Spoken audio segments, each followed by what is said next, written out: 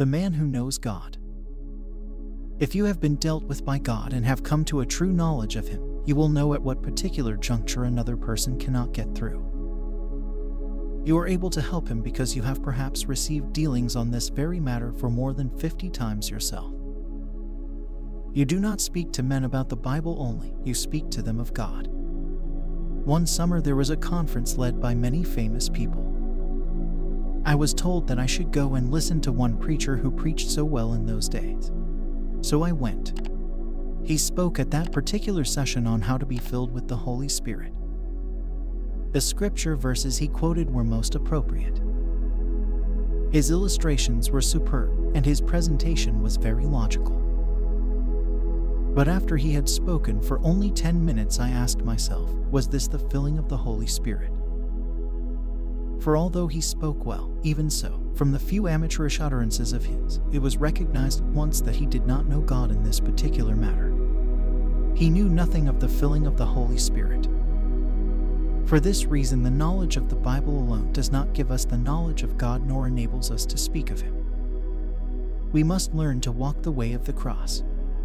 We need to be dealt with by God. The Lord did not disregard the will of God because He was the Son of God. Instead, he prayed once, twice, and three times to the Father till he could say, The cup which the Father hath given me, shall I not drink it?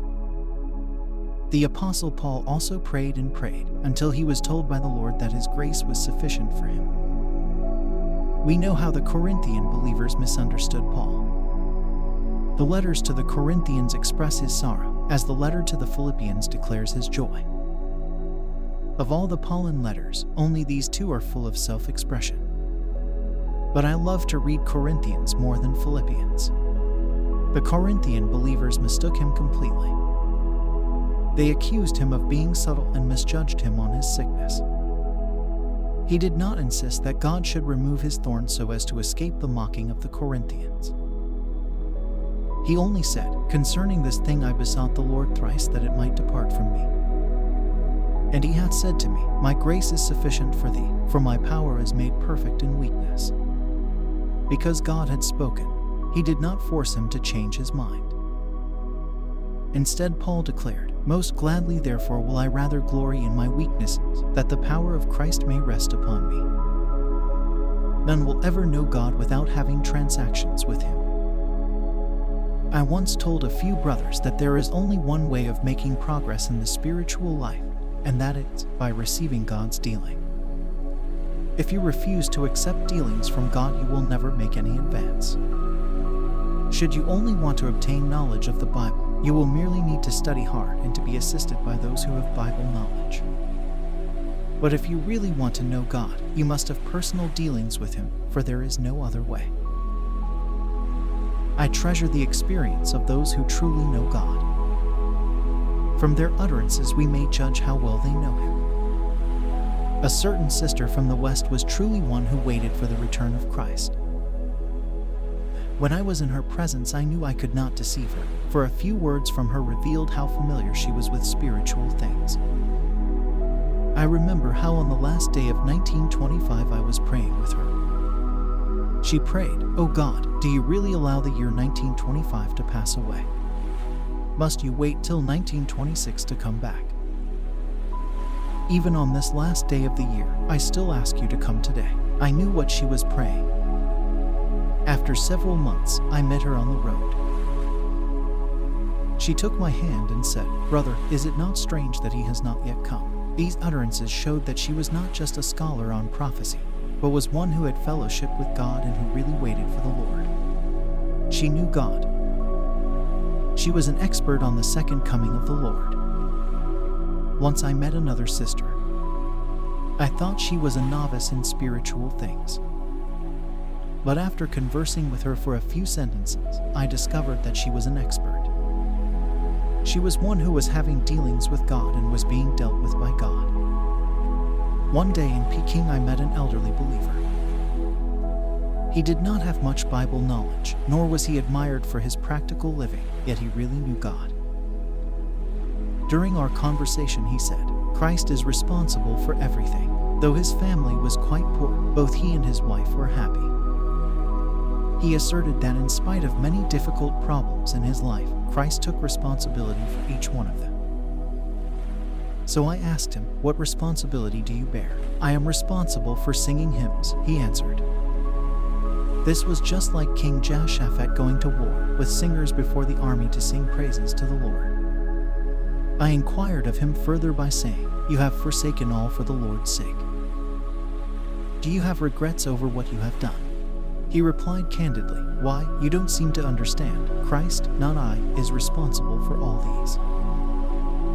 Concerning this matter of Christ being responsible for all things, anyone can see that this believer is well ahead of us and that we have to learn this lesson from him.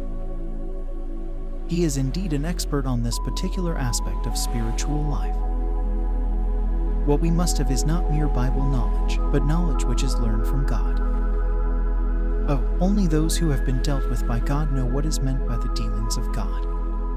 Must have God's dealings, you must have your environment dealt with as well as your sin dealt with by God. For instance, do you let things which appear in your family come and go as they please? Or if indeed you pray, do you pray for just once and then stop praying because you have not got an answer? How can you expect to know God? This is not Paul's way. He prayed a number of times till the Lord answered him. If you are willing to pray only once, you better not pray at all. You shall pray once, twice, and three times, and should you receive no answer, you must pray ten times, or even a hundred times till God speaks to you. Let us remember that hastiness ought not of any place in faith or prayer. Faith endures time. If God does not give, we can wait until we are a hundred years old. We hope against hope. Abraham believed God. Elisha told King Joash to shoot the arrow upon the ground. But the king did so only three times and stayed his hand. Because of this, the prophet said to the king that he could only smite the Syrians thrice, whereas if he had struck the arrows to the ground five or six times, he would have been able to smite Syria till he had consumed it. Such too is our prayer, that we cannot pray two or three times but then stop. A servant of the Lord once said, Prayer is like placing name cards on a balance. You put a one ounce weight in one side of the balance and add card after card to the other side. When the first card is thrown into it, it cannot raise up the one ounce weight.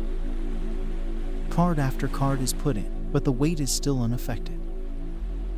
Then, perhaps at the very moment you throw in the last card, the weight on the opposite side is at last lifted.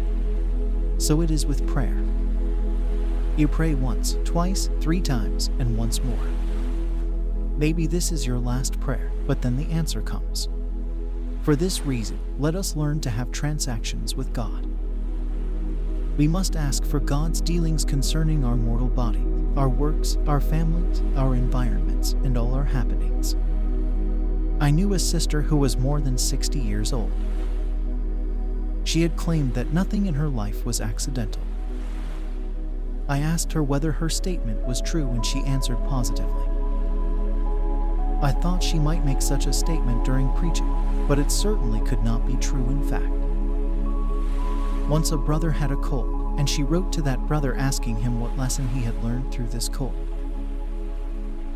I imagined it was all right to ask a person who had contracted typhoid fever whether he had received any instruction from God. But how could one ask a person if he were taught of God in the circumstance of a common cold? Nevertheless, that brother was really helped by her. He wrote back, saying that he was not at all concerned in the beginning, but having been asked, he was awakened, and thus he was dealt with by God and was changed. There was another brother who had sickness in the family. Again, the sister wrote to tell him that he ought not let this sickness pass carelessly, but should take up the responsibility of prayer for the sick in the family. That brother was indeed helped by her. Once she herself was sick in bed, her co worker had departed for another place. Her cook had gone home for some reason, and she had no money left. She kept on praying in bed, asking God why she should be ill at this time. God showed her that this sickness was not of him, but was due to the attack of the enemy. So she declared, If I myself have anything wrong, I can be sick, but if this is a satanic attack, I ought not be sick. She had already had a high fever for four days, yet she instantly got up. Now it was at this time that this sister composed the following hymn To the foe, my word is always no. To the Father, it is yes. That his plan and all his counsel be accomplished with success. When thine orders I'm obeying, grant me, Lord, authority to fulfill thy plan eternal through the Spirit's power in me. And upon finishing this hymn, she went out to do work, and her sickness was gone. Whatever situation she was in, this sister saw the hand of God in it. She knew well what is meant by the victory of Christ. Once she told me, if only you knew the victory of Christ, I could easily discover from the Bible such passages as Colossians 2 verses 14 and 15 which tells of the triumph of the cross of Christ, or Hebrews 2 verses 14 which speaks of how through death the Lord Jesus renders powerless him who has the power of death, or 1 John 3 verses 8 which states that the Son of God appeared to destroy the works of the devil or Revelation 12 verses 11 which proclaims that the brethren overcame Satan because of the blood of the Lamb. Yet each time I heard this sister mention the victory of Christ, the word seemed to convey a special meaning in her life. This was something beyond my comprehension.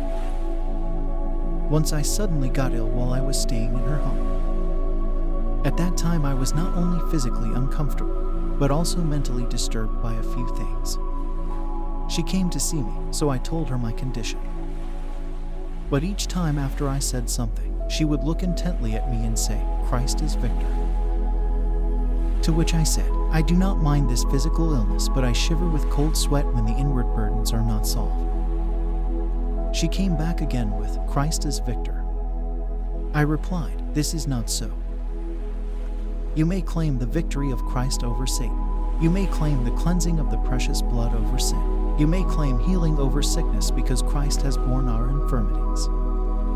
To all these you may say Christ is victor. But now I am at fault. I have not yet been reconciled with God, so how can you say Christ is victor? Nevertheless, she still insisted that Christ is victor. She read to me two scripture verses.